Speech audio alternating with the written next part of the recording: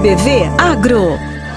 As notícias de agricultura, pecuária e a vida no meio rural. RBV Agro. Olá, está começando mais uma edição do RBV Agro e hoje com o retorno das férias da Angélica Alves. Boa tarde, Angélica. Boa tarde, Murilo. Boa tarde a todos. Tudo bem com você, gente? Aqui tá tudo certo. Ai, como não estaria, né? Casada agora, retornando de férias. E aí, Angélica, descansou? Então, aproveitei muito, Murilo, mas agora a responsabilidade aumenta também, né? Tem que trabalhar, não tem outro jeito. Não tem, mas tamo junto. Fica tranquila, minha amiga. Tamo junto mesmo e já que você está de volta com a corta toda, eu vou deixar para você fazer a mensagem do nosso patrocinador. Vamos lá então. O RBV Agro tem o um oferecimento da Cotan Agropecuária, a mão forte do agricultor.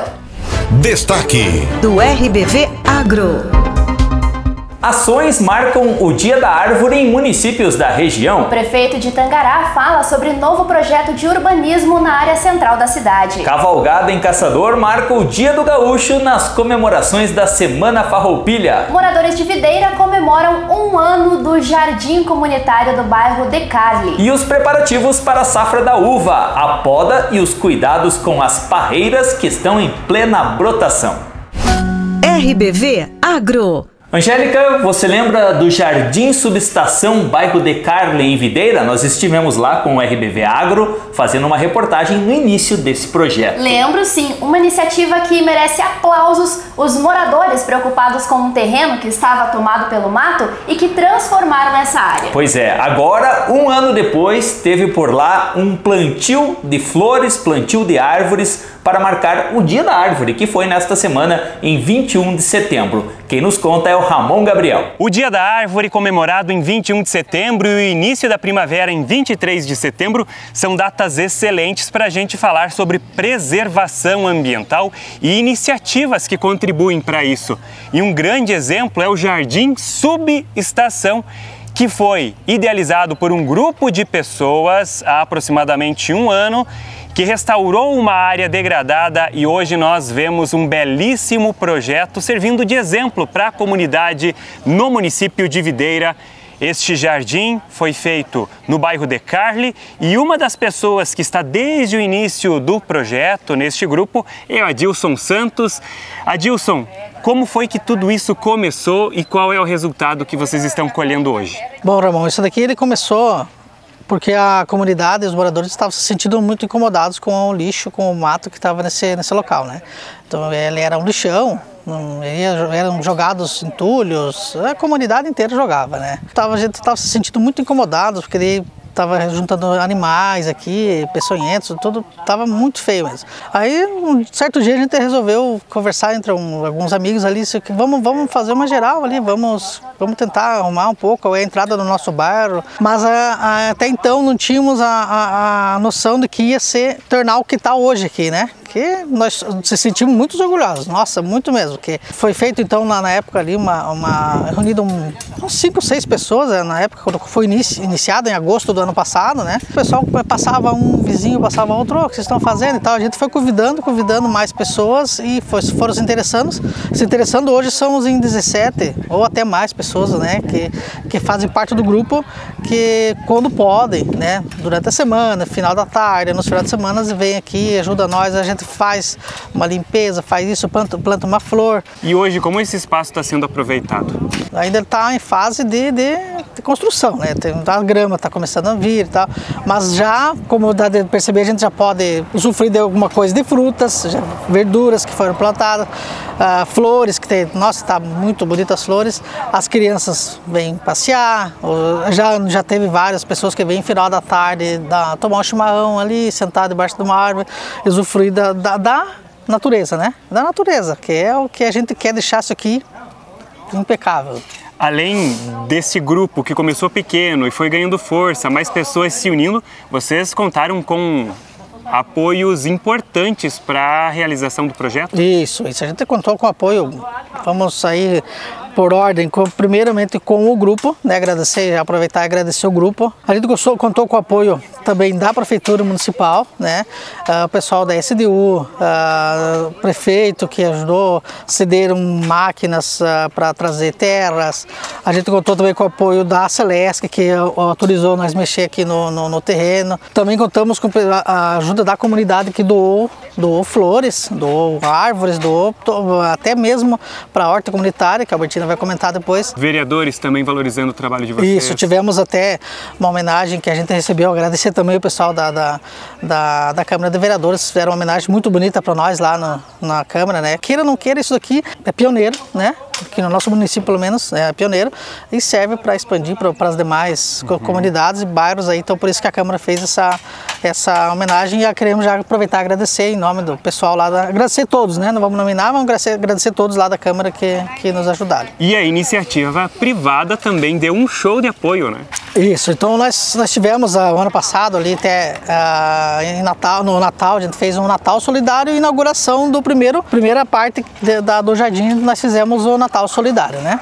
E tivemos aí colaboração de, de uh, podemos nominar o senhor Gilberto Zarpelon, que nos ajudou, uh, teve pessoal do, do, mercado do bairro também, que nos ajudaram com doações de doces, tudo, tudo para a gente poder fazer o Natal Solidário, que foi, foi um sucesso. E esse ano a gente vai fazer, quer fazer e vamos fazer melhor ainda do que foi o ano passado, né? Acabei esquecendo o pessoal da, da, das floricultura também, que doaram aí da, as flores aí para nós. Até mesmo através da Prefeitura Municipal, o Horto Municipal, né? Que a gente foi buscar bastante flores flores e árvores lá também. Outra pessoa que está no projeto desde o início é a Albertina de Barros. Como o Adilson comentou, o projeto começou com a restauração de uma área degradada, onde vocês transformaram isso aqui no Jardim Subestação. E a segunda etapa do projeto ganhou uma horta comunitária lindíssima, cheia de salada, que o povo já está aproveitando, não é, Albertina? Isso, isso. Então a gente começou restaurando o terreno, né, com flores, árvores, frutífera, nativa, e a gente tinha um objetivo, fazer uma horta. E aí agora está a nossa horta aqui, já toda pronta e estamos com bastante verdura, plantando bastante. Na verdade, a horta mais é o grupo. É para o grupo, que esse grupo aí de 17 pessoas que trabalham no terreno, mas hoje a gente está lançando o convite, se mais alguém que não tiver no grupo, vizinhos, moradores, que queiram fazer parte da horta, como eu faço, eu que cuido mais, cuido mais aqui do, da horta, eu e meu esposo, a gente deixa aqui, se alguém quiser trazer muda, a gente planta e daí quando tiver boa, a pessoa, a gente avisa a pessoa, a pessoa pode vir buscar alface, repolho, o que a gente está plantando aqui na horta. A regra, então, para poder usufruir da horta é ajudar. Ajudou, e, faz parte do projeto. Isso, ajudou, ajudou. Não precisa, que a gente sabe que tem bastante gente que às vezes não pode vir plantar ou às vezes não tem tempo, mas se doar muda, aí a gente vai, nós vamos plantar, nós vamos cuidar e depois pode fazer parte da, das verduras. Mais para cima da horta aí, a gente já tem batatinha, a gente já tem pipoca, a gente já tem amendoim, a gente já tem pepino, mais para cima mandioca. E a população aqui do bairro ajuda a cuidar também desse Bastante. espaço, né? Bastante. Isso a gente só tem que agradecer o pessoal do bairro, os vizinhos próximos aí, que todo mundo ajuda a cuidar. Que isso sirva como exemplo para outros bairros, outras comunidades, para ter essa iniciativa também, quem sabe buscar informação com vocês, quem sabe buscar vocês para plantar a primeira sementinha, daí o grupo do bairro é, cresce é. e daí toca adiante o projeto, né? Uhum. Isso, e dá para ver, né? Aqui a gente tem um enorme um terreno, são 4 mil metros de terreno, né? Mas quando a gente quer, qualquer pedacinho de terra, a gente faz acontecer, é só querer que a gente faz acontecer. Também houve importantes contribuições de vários setores da comunidade, inclusive do poder público, e na última vez em que eu estive aqui não existia calçada calçada é, aqui na frente como tem hoje. É, isso também foi importante, né? Isso foi muito importante. Então, depois que a gente começou a trabalhar bem, a gente só estava pensando assim, que ficaria legal se fizesse uma calçada. E a gente foi de encontro ao poder público, né?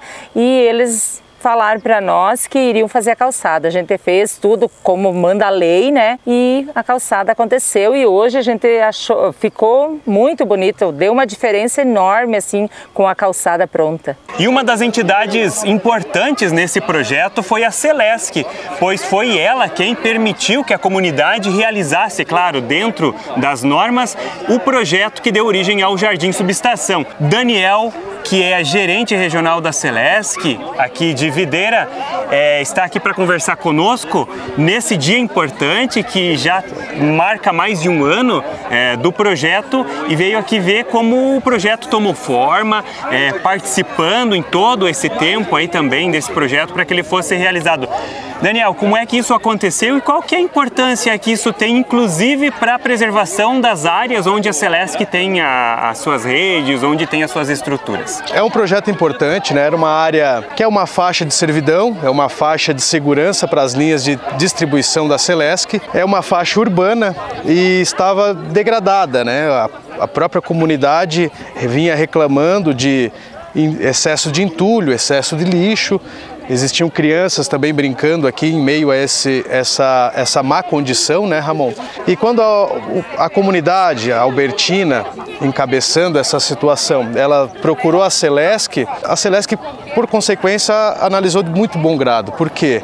Porque olha, olha a estrutura bela que foi criada, né? Uma, é, existe toda uma, uma comunidade sendo beneficiada com um projeto social, um projeto de interesse da própria comunidade. Então a Celesc sempre apoia projetos sociais, irmão. É um braço forte dessa, dessa companhia que, que é referência no estado e com certeza não tinha outro motivo, né, outra razão senão apoiar, né, claro, seguindo os padrões de segurança, é, não pode se construir edificação, não pode construir parquinho, não pode construir mesas e, e bancos, porque não pode ter uma concentração de pessoas, mas embelezar uma faixa de utilização, uma faixa de servidão da concessionária é muito bom, né? A gente enxerga é, nos olhos, na alegria da comunidade, como isso faz diferença no dia a dia deles, poder olhar para fora da sua casa e ver um ambiente muito mais agradável, né? Prefeito de Videira, Dorival Carlos Borga, qual a importância de iniciativas como essa que preservam não só o meio ambiente, restaurando um espaço que estava degradado, mas também que fica de costas para uma estrutura, uma entidade que é do município, que é um semeia, que, que acaba ainda é, incentivando a educação, incluindo as crianças, faz um trabalho social, enfim, é um projeto muito completo e muito bacana. É realmente, acho que a comunidade aqui do bairro de Carne estão de parabéns por terem essa iniciativa. No momento que muitos só vê problemas e crítica, eles vê o problema e vão para a solução. Então eu quero parabenizar, cumprimentar e realmente reconhecer o trabalho e o zelo da comunidade, que eles estão cuidando do espaço, o melhor espaço que tem na vida deles, que é onde eles moram. Então, parabéns à comunidade, a todos os idealizadores que aqui moram nessa região e que realmente estão zelando então esse espaço, dando uma demonstração de cidadania, de responsabilidade e de contribuição para com a coisa pública, de um espaço inservível tornou-se um espaço útil, um espaço agradável e aonde a comunidade, inclusive, pode se reunir. Então, parabéns e o município de Videira sempre está ao lado daqueles que ajudam a fazer as coisas acontecerem. Então, quero mais uma vez parabéns à comunidade aqui do Decarli pelo exemplo que vocês foram. E eu falei para eles agora, eles são 10, porque eles não se limitam a criticar, eles veem o problema e buscam a solução e buscam ajuda. Nós contribuímos aqui também, a prefeitura, para ver esse espaço restaurado. E não é bom ver isso, Ramon? Olha, ó, realmente uma alegria vendo flores, horta comunitária, pomar, enfim, área de convivência. Parabéns, então, aos idealizadores e aos executores desse serviço. Vamos lançar um desafio, prefeito? Vamos lá. Qual vai ser o próximo bairro que vai tomar uma iniciativa como essa? Tá bom para quem quer realmente embelezar o seu bairro, pode contar com a prefeitura, assim como o bairro de Carne contou com a prefeitura e nós estamos aqui para realmente ajudar. Então, pode ser. E se for em todos os bairros, nós estaremos ajudando todos os bairros, porque para nós todos os bairros são muito importantes, mas nós precisamos que se junte e que ajude a acontecer, a fazer as coisas acontecer. Então, Tá aí o desafio. Tá aí todos os bairros de Videira e a prefeitura está do lado de cada um de vocês para fazer acontecer. Jana Guedes, vice-presidente do Legislativo de Videira, também presente aqui representando o Legislativo, assim como outros vereadores também. E como esse projeto ganhou o apoio de diversas entidades, né, Jana? É bonito ver iniciativas como essa ganhando apoio. Com certeza, Ramon. A gente fica feliz quando as pessoas não se acomodam. Isso é o exemplo que a gente está vendo aqui. Os moradores, junto com essa equipe né, é, do Jardim Subestação, é, se mobilizaram para fazer tudo isso é, um terreno que estava aqui abandonado, juntando lixo, é, sem cuidado nenhum. A Celesc doou o terreno, acreditou nessa iniciativa, a iniciativa privada também, com vários empresários ajudando. A prefeitura também fez a sua parte e nós, como vereadores, temos que, primeiramente, elogiar e agradecer que nós temos cidadãos videirenses que pensam como essas pessoas, como esse grupo que fez tudo isso, né? E que também incentiva as crianças, que são o nosso futuro, a também cuidar, preservar nossa, a natureza, plantar uma flor, plantar uma árvore. Então tudo isso traz para a gente uma emoção muito grande. Ver um terreno aqui do bairro de Carle, um dos maiores bairros da nossa cidade, sendo preservado e cuidado. E a gente pede para a população você que não conseguiu ajudar de alguma forma, mas você pode ajudar preservando. Se você traz o seu animalzinho para passear aqui, traga uma sacolinha para juntar sujeira. Não deixe, não deixe juntar lixo.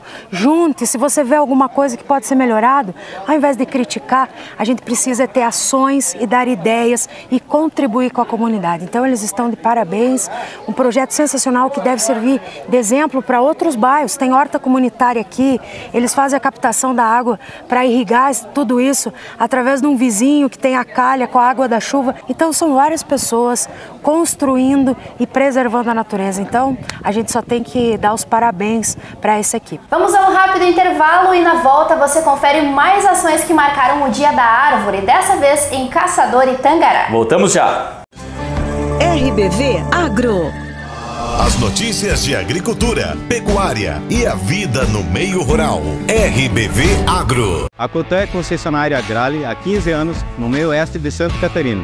Possuímos a linha de tratores de 15 a 105 CV. Na Cotan você encontra as melhores marcas de implementos agrícolas da pronta entrega, dentre elas JF, Ipacol, Kuhn, Triton, Baldan, Indutar, Vence Tudo, MacRu, Fanezena, Finardi, entre outras. Atendendo todas as operações do campo, do preparo do sol à colheita, do pequeno ao grande produtor. Venha até nossa unidade ou solicite a visita de um dos nossos consultores.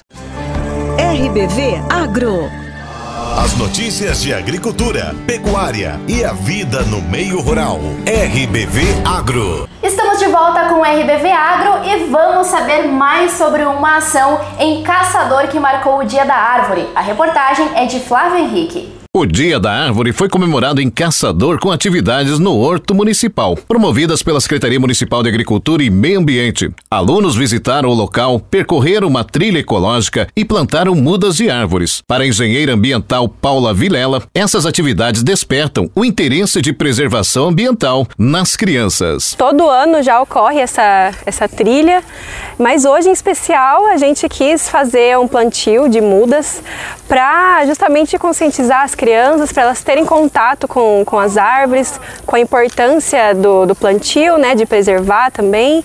Então, durante a trilha, a gente conversa bastante sobre a importância da mata ciliar para os rios, a importância da floresta no geral, né? E a gente apresenta bastante espécies, explica para eles né, que elas são nativas aqui da região de, de Caçador e de Santa Catarina, para eles terem esse contato e aprenderem a a preservar, né? Desde cedo, se eles tiverem essa conscientização, com certeza eles se tornarão adultos mais conscientes, né? Com o conhecimento da importância da floresta, da importância né, da, das matas para evitar o que vem acontecendo aí que a gente vê nos noticiários, né, no mundo inteiro, não só aqui no Brasil. As crianças podem fazer a visita aqui na trilha, né, conforme agendamento na Secretaria de Agricultura e Meio Ambiente. A professora Maria Helena destaca que as atividades proporcionam uma atividade diferenciada para os alunos e os coloca em contato com a natureza, afastando um pouco da tecnologia digital. E hoje em dia a gente percebe que as crianças não têm muito contato com a natureza, com a terra terra, de colocar a mão na terra. É, esse contato para eles é um contato que eles vão levar, é um marco na vida deles, né? Desperta muito o interesse deles de preservar a natureza e cuidar da natureza, desde a reciclagem do lixo que a gente trabalha lá na sala. Então, não jogar o lixo na natureza, cuidar da árvore, cuidar dos pássaros, da natureza, da que tudo uma coisa depende da, da outra, né? Em Tangará, o prefeito Aldair Biasiolo, o Bitinha, fala sobre melhorias na área central do município e de ações de plantio de árvores e flores que foram realizadas nesta semana. Então, pessoal, hoje nós estamos aqui acompanhando o trabalho do pessoal do Horto, o seu Zé, o seu Gilmar, o seu Paluque aqui, são o pessoal que cuida do nosso jardim, das nossas flores. Então aqui eles fizeram um trabalho de canteiro com tijolos, fizeram a escada que desce ali para o campo sintético. Então eles cuidam toda a parte de embelezamento da nossa cidade. Então nossa, nossa pracinha, nossa cidade está muito bonita, graças ao trabalho que eles fazem aí com o pessoal do Horto aí nessa parte da, das flores e da parte de construção dos canteiros também. É eles que fizeram esses canteiros bonitos que estão aqui na nossa praça hoje. Então vou deixar o Ed falar um pouco também da questão das árvores que foi implantada aí na praça aí. É, é, nós, através da Secretaria de Turismo, também a gente vem dando um apoio nesse trabalho, né? Inclusive na, no projeto aqui dos novos canteiros e também da escadaria, que o Bitinha já comentou, né? Hoje o espaço utilizado lá do lado da quadra sintética é um terreno particular, não é um terreno público, então por isso a gente acabou uh, fazendo essa escadaria para ter o, o, a possibilidade do, da população estar usando dentro do espaço público. E aqui na praça também a gente acabou esse ano fazendo a poda dessas árvores mais antigas. Né? Nós temos aqui os IPs de 2, 3 anos, que ele já tem uma, uma estrutura razoável e precisa de espaço para crescer.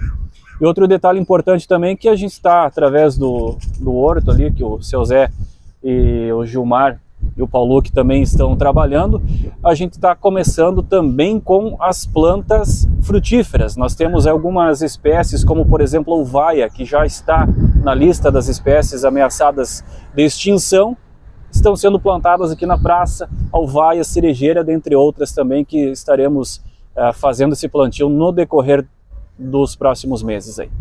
Aproveitando aí para agradecer eles e também para conscientizar a nossa população para ter o cuidado, né, nossos canteiros, nesses espaços públicos aí. Então a gente faz o nosso trabalho, mas a população também tem que ter esse cuidado aí para manter esses espaços bonitos no nosso município de Tangará. Além do Dia da Árvore, nessa semana também tivemos o Dia do Gaúcho. Em Caçador, uma cavalgada na quarta-feira foi um dos eventos da Semana Farroupilha.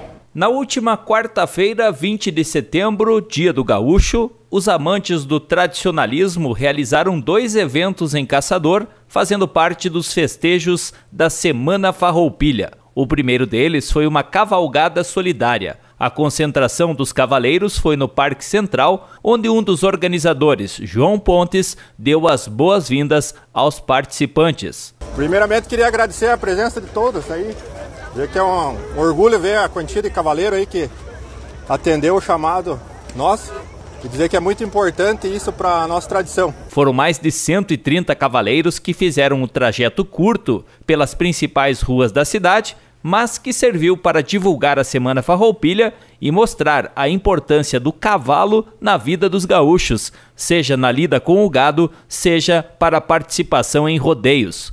O Sidney Cardoso, que é professor de dança gaúcha, fez questão de se juntar ao grupo para a cavalgada. Estamos aí apoiando também no segmento campeiro, né, Luizinho? Nós que somos da artística, que somos do baile, que somos do fandango, estamos aí apoiando também o pessoal da campeira, acompanhando o pai aí que sempre está fazendo as tertúlias, cavalgadas e se encontrando com os amigos de Bombacha, né, Luizinho? A cavalgada teve ainda um viés solidário com a arrecadação de donativos para a Associação Maria Rosa, entidade que atende mulheres vítimas de violência. O Paulo Madaloso participou pela primeira vez e está empolgado com a atividade. Muito bom, adorei a primeira que, que cavalgada que participo, mas foi muito bom. Pretendo participar mais agora, já estou comprando os trajes, tudo, de gaúcho.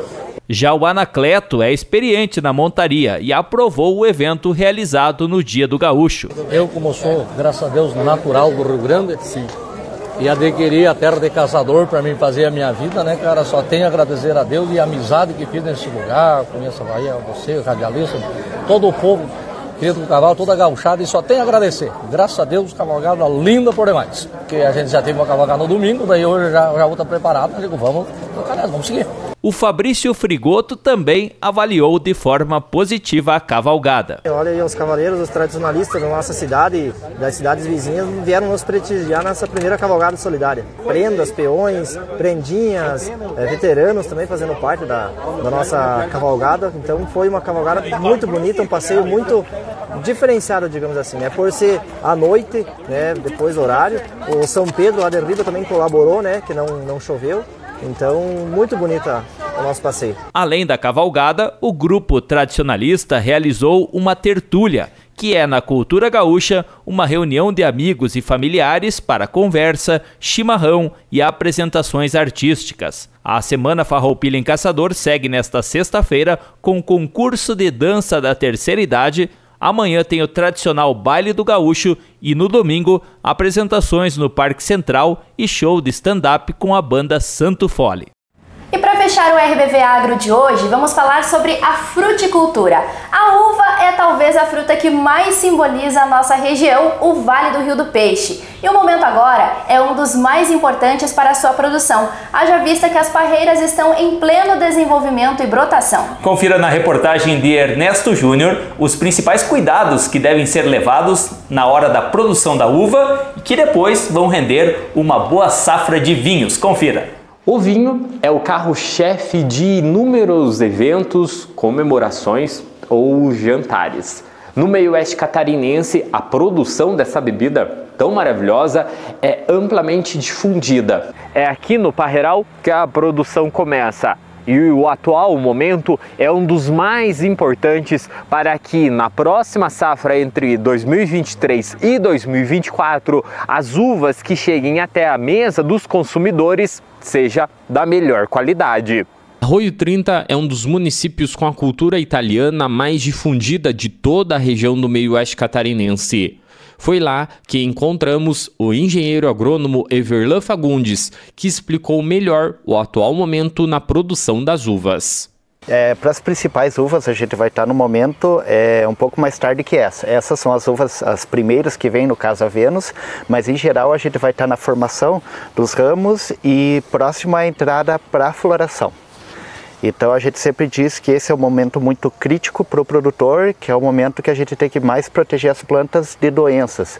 Então o cacho, quando ele está agora pequenininho, ele não abriu ainda, mas à medida que ele vai abrindo, a gente já tem que proteger as nossas nossos cachos, as nossas plantas da principal doença que ataca a gente, que é o míldio entende? Então é sempre importante o produtor estar atento ao a, a fenologia da planta para pulverização dos produtos, né, é, é, registrados para proteção contra essa doença. Entendi. E agora a gente está tendo também, né? Estamos aí hoje, aí, bem dizer, meados de setembro. A gente está num clima hoje mais frio, um pouco de presença do sol, mas a gente veio aí de dias com muita, com chuvas, com calor essas mudanças no clima, elas nesse momento elas são benéficas aí para a produção, aí para esse momento das parreiras, como que isso interfere? Então, vendo uma perspectiva agora dos próximos dias da gente ter é, um frio um pouco mais intenso, temperaturas, por exemplo, para a videira de um grau, ela traz uma pequena preocupação, mas eu digo assim, não é uma preocupação tão grande porque não é uma temperatura negativa que vai realmente causar um prejuízo muito grande. É, pode haver algum é, uma redução mínima de qualidade normal, é, alguma queima de algum cachimbo, mas é em geral as principais variedades nossas que a gente teria aqui, que seria a Niágara, a Isabel, a própria Bordeaux ali, elas não devem ter problema quanto a essa temperatura. Em geral, o ano também tem uma previsão de chuvas constantes. Essas chuvas constantes são boas, não tem um período de seca, então o desenvolvimento da planta deve ocorrer normal, mas do mesmo jeito a gente tem que tomar aquele cuidado, porque à medida que existe umidade, algumas doenças como o míldio, que é a principal, é, pode ter uma prevalência maior, pode ter uma incidência maior nas nossas plantas. Então é sempre importante que o produtor tome cuidado com a proteção da, da, da uva, né? Entendi. Então a gente destaca esse ano que o início foi muito bonito. Como a gente pode ver aqui os cachos, então as plantas estão colocando três até quatro cachos e a gente diz assim, a média é dois e tal, três cachos numa variedade dessa aqui está muito bom. Então a previsão de produtividade é alta, para essas áreas e o que, que a gente diz. Então, à medida que o cacho está abrindo aqui, é bom a gente manter é, a pulverização para proteção. Ah, também a gente diz que o produtor deve se atentar com adubação, né? E, e em geral a proteção é, proteção e também a questão de, de padronização da, da, maturação. Por exemplo, à medida que a gente tem pulverizações foliares com boro, que a gente tenha todos os nutrientes na planta, com certeza a planta vai expressar o potencial dela e produzir uma uva de, de qualidade. Uma uva boa aqui, com certeza, vai propiciar um vinho muito bom lá. À medida que a gente não tem uma qualidade tão boa aqui, esse vinho com certeza não vai ter a mesma qualidade no, na cantina. E com vontade de degustar já uma uva, mesmo estando um pouquinho longe ainda da colheita, e também tomar uma boa taça de vinho, nós vamos ficando por aqui com o RBV Agro de hoje, Angélica. Com certeza, Murilo. Eu mesma vou ter que apreciar um vinho depois dessa reportagem aí. Não vou me aguentar, não. Gente, muito obrigada pela sua audiência, pela sua companhia. O RBV Agro fica por aqui, mas semana que vem a gente está de volta com mais destaques do agro para você. E com esse calor, esse tempo quente, eu fiquei com vontade daquela uva bem geladinha que é guardada hum. na geladeira. Nossa, que delícia. Além de deliciosa, é refrescante. Angélica, um grande abraço. Até semana que vem. Tchau, tchau, pessoal. Até a próxima. Tchau. RBV Agro. As notícias de agricultura, pecuária e a vida no meio rural. RBV Agro.